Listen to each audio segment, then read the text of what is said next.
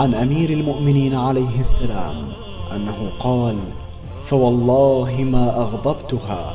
ولا أكرهتها على أمر حتى قبضها الله عز وجل ولا أغضبتني ولا عصت لي أمرا ولقد كنت أنظر إليها